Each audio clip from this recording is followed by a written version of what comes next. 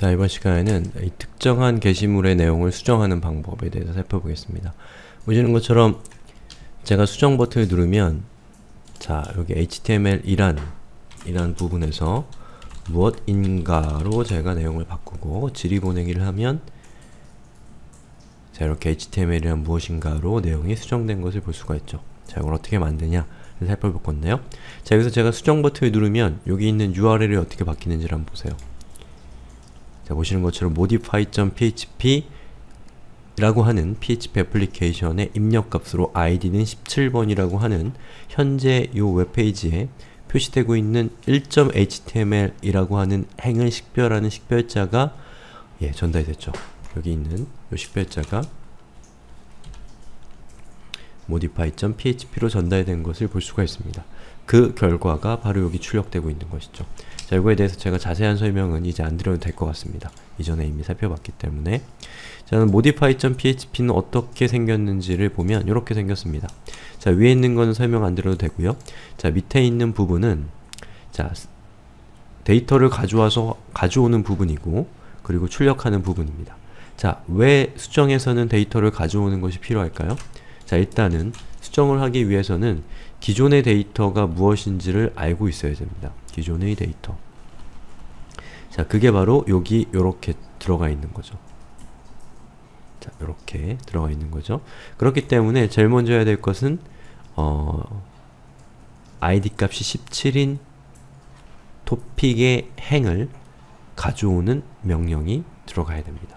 그리고 그렇게 가져온 것을 이렇게 필드에다가 채워놓고 사용자가 질의 보내기를 했을 때 요 정보들을 예, 서버로 전송을 하는 거죠. 근데 그 요 정보를 받는 서버는 서버 쪽 애플리케이션은 사용자가 입력한 요 정보를 id 값이 17이라고 하는 요 토픽의 행에 변경시키는 업데이트 라고 하는 SQL문이 사용이 된다는 것을 우리가 추정할 수가 있겠죠. 자, 그 구체적인 방법을 살펴보면 이렇습니다. 자, 이 보시는 것처럼 제일 먼저 SQL 별표 from topic id는 $get id 이렇게 해서 이 사용자가 선택한 토픽의 id 값을 URL을 통해서 받아온 거죠. 그리고 그것을 result로 해서 MySQL 패치 어레이를 통해서 그 결과를 $topic이라고 하는 변수에다가 담은 겁니다. 그리고 여기에는 보시는 것처럼 HTML 태그가 있어서 자, $topic이라고 하는 사용자가 선택한 행에 대한 데이터를 갖고 있는 변수고 그건 배열이죠. 배열에 타이틀이라는 색인과 description이라는 색인을 통해서 여기에 있는 요 값을 완성한 겁니다. 요 값을 완성한 것이죠. 요게 요것 요게 요것 이렇게 되는 거죠. 그 다음에 사용자가 질의 보내기 즉 서브밋 버튼을 누르면 그 정보는 어디로 가냐 자 우리가 이전에 살펴봤었던 process.topic 이라고 하는 파일로 가는데 그 파일로 mode라고 하는 값이 modify라고 하는 어, 값의 이름이 modify라는 값으로 전달되게 되는 겁니다. 그러면 process.php가 어떻게 생겼냐? 자 이렇게 생겼죠. 이거, 이거 이전에 우리가 봤던 파일이에요. 자그 중에서 이 달러 get mode로 전달된 값이 modify잖아요. 그러면 여기에 있는 이 부분이 적용이 되겠죠. 그럼 이 부분을 자세하게 한번 살펴보죠. 자, MySQL 쿼리가 들어갔고요. MySQL query의 내용은 뭐죠?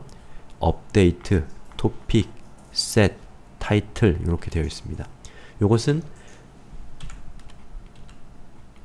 자, topic 테이블에 자, topic 테이블에 값을 수정할 건데 타이틀 column의 값은 사용자가 전송한 타이틀이라고 하는 POST 데이터의 이름의 값을 사용을 하고 description 본문은 역시 마찬가지로 사용자가 전송한 description이라고 하는 값을 사용을 하고 그리고 그 결과는 where id 즉 id 값이 자 달러 underbar POST 즉 사용자가 전송한 어, id 값을 사용을 해서 요 id 값에 해당되는 행의 데이터를 전송한 데이터로 교체한다 라는 내용이 MySQL 쿼리 안에 인자로 들어가 있는 거죠. 자 그리고 header, location, list, list 물음표 id는 이렇게 되어 있기 때문에 사용자 요, 여기 있는 이 부분에 의해서 데이터베이스에 있는 내용이 수정되고 수정된 후에 list.php로 이동을 하는데 $id는 무엇 무엇 즉 사용자가 전송한 수정하고자 하는 id의 값을 전달했기 때문에 이제 여기에 있는 내용에 의해서 어, 수정한 내용에 대한 본문이 표시되는 list.php 애플리케이션의 URL로 이동하게 되는 겁니다. 자, 제가 여기에 있는 요 id 값에 대해서 아까 설명을 안 드린 것 같아서 조금만 말씀드리면 자, 바로 요겁니다. 저 id 값은 누가 보냈냐면 바로 이 부분에 의해서 전송이 된 겁니다. 타입이 히든이죠? 히든은 다른 타입과는 다르게 화면에 표시가 되지 않지만 서버 쪽으로 id란, id라는 이름의 값이 value 안에 들어가 있는 어떠한 값을 전송할 때 사용하는 이 보이지 않는 정보 전송 수단이 바로 히든이라고 하는 컨트롤입니다. 예, 그러면 이게 뭔지 이해하실 수 있을 것 같아요. 자 이렇게 해서 이 modify.php 즉 어, 어떤 행의 내용을 수정하는 방법에 대해서 이번 시간에 알아봤습니다.